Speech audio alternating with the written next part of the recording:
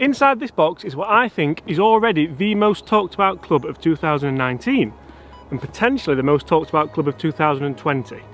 Let's do it and let's do it now.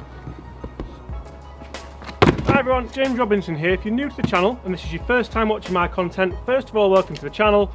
Um, this is to just do the unboxing. Second of all, please make sure you do consider hitting that subscribe button before you leave. Because on this channel, I bring you guys golf related content every single day. Hopefully to help you raise your game. Generally to help you lower your handicap, but mainly just to get you enjoying golf loads more. In today's video, I think this is the most talked about club of 2019 and potentially will be the most talked about club 2020 because it's getting that way now, isn't it? End of October. As you can see, we're at a beautiful Huddersfield Golf Club today and the clubhouse is looking spectacular with the ivy that changes colour with the seasons. And now this is open, see what it is. Oh, there's two. So as you can see, this is a Callaway club and as I said earlier, there are two of them. Love a good packing list. Let's open one first. Odyssey Stroke Lab. But which one is it? We all know that Odyssey Stroke Lab's been around a while, but this is the Odyssey Stroke Lab 10.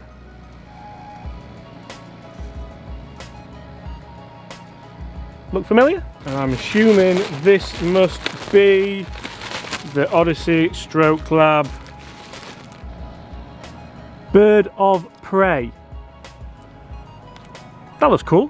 So guys, we're gonna leave the Bird of Prey for another video. I will do a full review on that. This video is about the Odyssey Stroke Lab 10 and how good does this thing look? Now, there's a little bit of an elephant in the room. It looks similar to another putter that is out there. It looks very similar to the TaylorMade Spider. Let's just get out on the course and test it, shall we?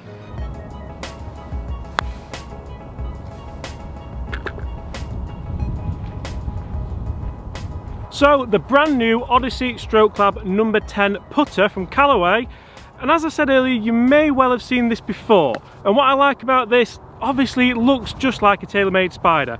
Love the TaylorMade Spider, what a putter, great putter used by many tour players, many amateurs, many high handicappers, many low handicappers. It is used by a lot of golfers. Now one thing Callaway aren't doing with this is shying away from the fact that yes, it looks very similar to a TaylorMade Spider putter.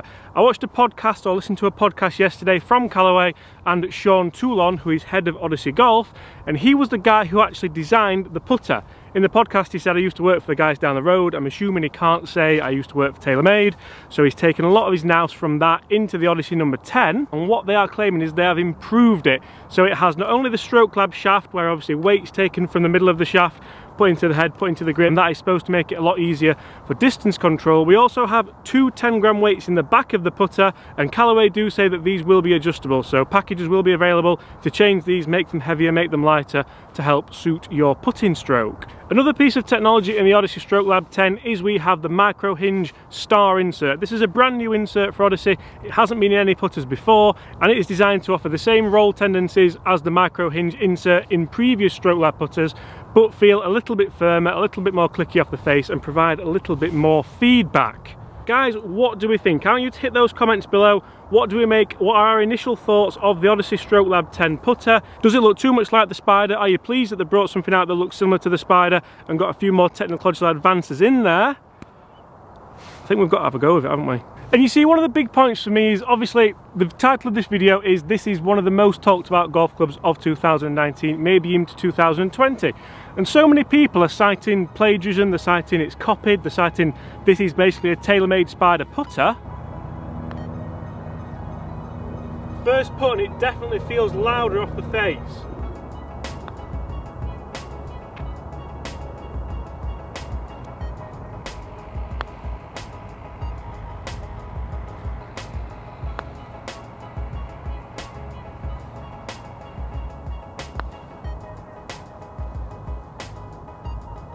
Now you see one tendency that hasn't been lost in this putter is the ability for great distance control. For me the Stroke Lab shafts really do give you that. I really really enjoy, in fact, let's take that one off. You forget when you forget something. I always really enjoy using the Stroke Lab putters because I do find that it does help me with distance control and that is something which I struggle with generally and I have worked on for a very long time but the weighting in this does definitely help that even when they don't go in.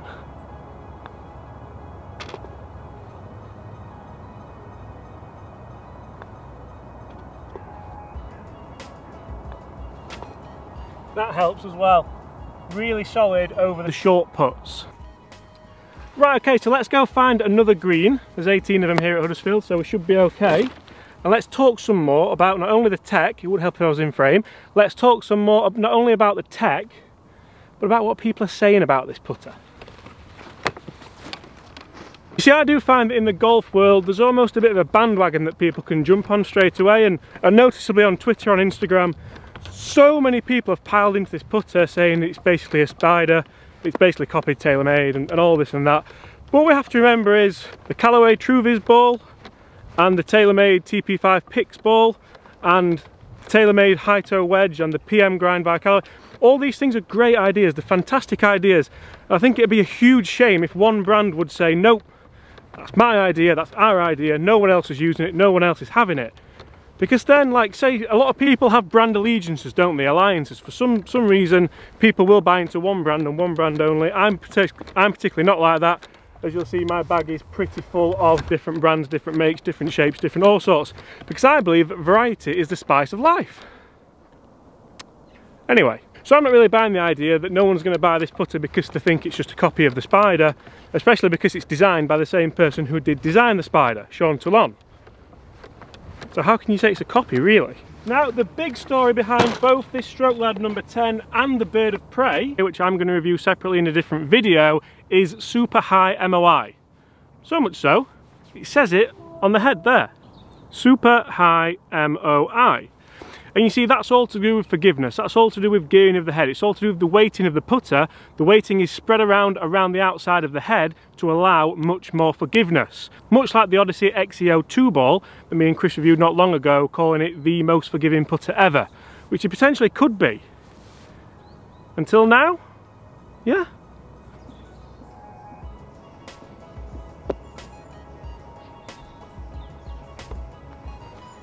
By the way, how fast are these greens? This is nearly November. Ah, oh, got to take the hats off to Ben and the team here at HGC. I wanted those balls to finish here and the middle of the green. Now, another fact that Callaway are stating with these putters is that as soon as the number 10 came out, they went to number one on all worldwide tours, in usage that is. That's a bold claim, and I'm not going to say they're going to claim it if it hasn't happened, so that's pretty impressive. Players such as Phil Mickelson have started testing these putters and it really wouldn't surprise me if in 2020 we saw a lot of these oh, we saw a lot of these in tour players bags. They feel very very stable. They sit wonderfully although for me I must admit for what I'm working on with my putting coach at the minute getting the ball more central taking it a little bit squarer back the shape of it really helps me. It would help if I aimed the putter as well The huge thick white line that runs straight through the middle of the crown of this putter is very, very confidence inspiring, I suppose you'd say, especially for people like me who do like to line the ball up and really visualise a really good alignment into the hole.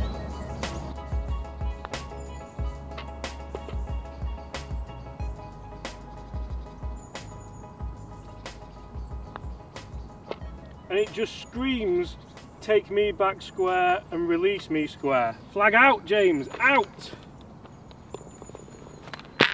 I guess one of the only real criticisms I can think of for this putter is where's it been? Why wasn't it released at the same time as the other Odyssey Stroke Labs to give people the chance of maybe getting fitted into the putter? It comes down to it, doesn't it? It comes down to the marketing aspect again that all brands are doing. I know some brands release drivers a little bit later this year as opposed to when they were normally released drivers and that threw a lot of people I just think this is maybe something that brands could pre-warn customers with. They could say, here is the brand new Stroke Lab range. We go from 1 to 7 or 1 to 8. I can't remember how many are actually in that standard range. 1 to 9 because this is number 10. So that makes a lot of sense, doesn't it? But they could definitely say there is a number 10 coming. There is a Bird of Prey coming. Maybe hang on to your hats if you are wanting to get fitted. But then that'd be an absolute marketing nightmare, wouldn't it? So I guess I see why they don't do that. Answering your own questions today. Guys, hit those comments below. Who here is using an Odyssey Stroke Lab putter? Are you enjoying it? What feedback would you get from it? Oh, this rolls so good, it really does. What number are you using? What length are you using? Where you fitted into it? Because that's something which, oh, that's got to be an all day. Ah, no. Because that's got to be something which Odyssey are trying to push more and more into putter fittings. Make sure you get the right length for yourself, make sure you get the right head shape for yourself, even make sure you get the right grip for yourself. There are numerous grips available in the Stroke Lab number 10 and in the Stroke Lab Bird of Prey, so make sure you do get the correct one for you because it will make quite a big difference. I know Chris is really looking forward to getting his hands on these and testing them because he he loves putters more than most people would love loved ones. It's a real weird way of putting it. If he watches this, he'll know. He will, he will probably comment below, and if he does, I'll pin it. But yeah, he, he really likes putters. Visually, I've got to say, obviously I use the Spider X, so it looks as good as anything that I've really seen. I love the bold white line. Come on, let's make one. Gotta be. Gotta be. Hear it, listen. No, missed. And you see again, this is a huge tray of the Stroke Lab, which I saw last time I tested it. And I mentioned it before in this video as well, distance control. That for me is absolutely invaluable to know that you can have puts like this for par, no problem after going for a birdie putt, and you're not gonna walk off looking silly. Because that's happened to me a lot, believe it or not. I can look silly at times. So I guess in a nutshell, I really like this putter. I really like how honest and open Callaway have been about it, especially in the podcast. I will link that actually in this video somewhere because it's a really interesting listen and interesting watch because it's also a video. If you do enjoy golf tech, if you do enjoy Callaway stuff, Odyssey stuff, I absolutely love the visuals of this putter, love the colours of it, black and yellow, black and yellow, black and... James, honestly. I love how the bottom of it looks like a rib cage as well that looks really cool to me. And it's all this isn't just for looks obviously it's to help the MOI it's to help it be more forgiving. It does seem to do that. I have been putting pretty well with it today out here. It's the first time out with it first time I've seen it. And I am pleasantly surprised it could definitely definitely work its way wrestle its way into my bag at some point. That's a bold statement as well because I've been really enjoying the TaylorMade Spider X really enjoying it. But the Stroke Lab does add just that extra element I feel